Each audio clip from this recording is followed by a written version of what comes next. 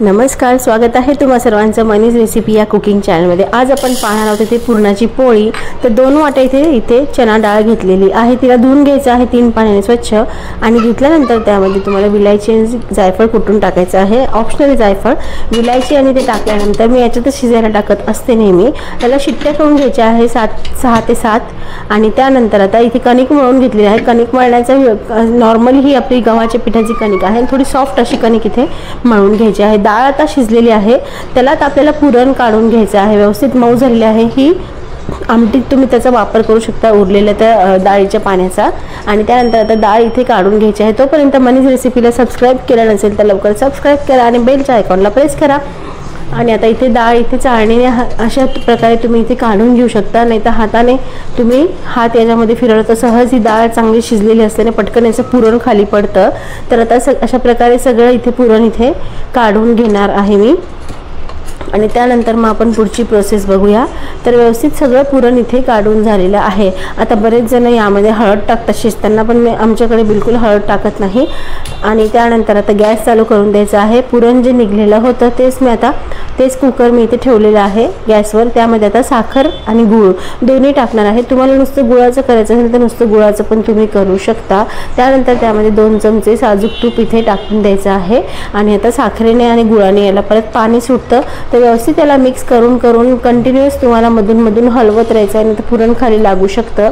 आणि पुरण आता व्यवस्थित इथे साखर गुळ सगळं मेल्ट झालेलं आहे. आणि सॉफ्ट असं पुरण बनवून तुमचं तयार झालेलं आहे. गुळाचं आणि साखरेचं मिक्स खूप छान लागतं. नक्की करून बघा.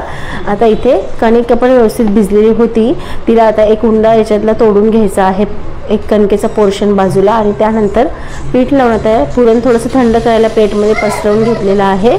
आणि त्यानंतर तुम्हाला जेवढ्या आकाराची पोळी हवी असेल तेवढ्या आकाराचं तुम्ही कणिकचं पोर्शन घ्यायचं आहे किंवा उंडा घ्यायचा आहे आणि त्याची अशी अशा प्रकारे हलक्या हाताने तुम्हाला चपाती इथे बनवून घ्यायची आहे पुरणाची पोळी.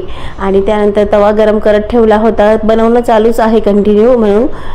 आणि त्यानंतर तूप टाकून आता मस्त तुम्हाला शेकून घ्यायचं आहे. बरेच जण तेलामध्ये करतात पण नाही. बिलकुल नाही. तुपामध्येच पुरणाची पोळी बनवत जा. तुपामध्येच चांगली लागते. आणि खरपूस खमंग अशी ही पुरणाची पोळी आता इथे मी भाजून घेणार आहे. हा मस्त बनलेली आहे पुरणाची पोळी. तुम्ही बघू शकता. आणि नेहमी माझी मम्मी जी असते ती मला पुरण बनवून घेऊन येत असते नेहमी. जेव्हा आली तेव्हा मग पंधरा वीस दिवस आरामशीर ते पुरण टिकतात. राहत आहे हे बाकीचं पुरण मी फ्रीजमध्ये काढून ठेवणार आहे. हव्या तेवढ्या पोळ्या मग जशा लागेल तशा मी इथे करत जाणार आहे. तर आता मस्त अशी पुरणाची पोळी बनवून तयार आहे. व्हिडिओ तुम्हाला कसा वाटला? व्हिडिओ आवडल्यास रेसिपीला नक्की एक लाईक होऊन द्या शेअर होऊन द्या जास्तीत जास्त. त्याचबरोबर बनीज रेसिपीला लवकर सबस्क्राईब करून ठेवा. अशा छान छान रेसिपीज पाहण्यासाठी गणपतीसाठी भरपूर व्हरायटीज मोदकाच्या मी चॅनलवर टाकलेल्या आहे. तर मराठी सणांसाठी अशी नावाने प्लेलिस्ट आहे. त्यामध्ये सगळ्या प्रकारचे मोदक उकडीचे चॉकलेटचे तुम्हाला मिळून जातील. तर ते तुम्ही नक्की बघा. तर आता ही रेसिपी नक्की ट्राय करा. तोपर्यंत भेटूया पुढच्या एक छानशा नवीन वेगळ्या रेसिपीसोबत आता गणपती येत आहे. लवकर लवकर बनवा आणि अशी पुरणपोळी बनवल्यास मला फीडबॅक द्यायला नक्की विसरू नका. तर भेटूया पुढच्या रेसिपीसोबत तोपर्यंत बाय